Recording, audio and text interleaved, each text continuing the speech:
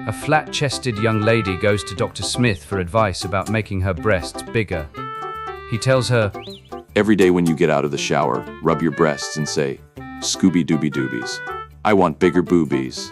She did this every day faithfully, and after several months, it worked. She grew great boobs. One morning she was running late, and she was on the bus when she realized she had forgotten her morning ritual.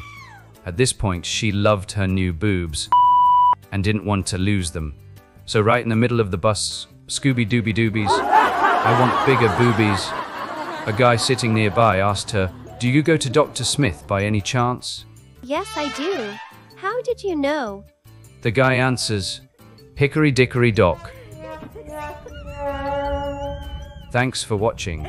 Please like and subscribe for daily jokes.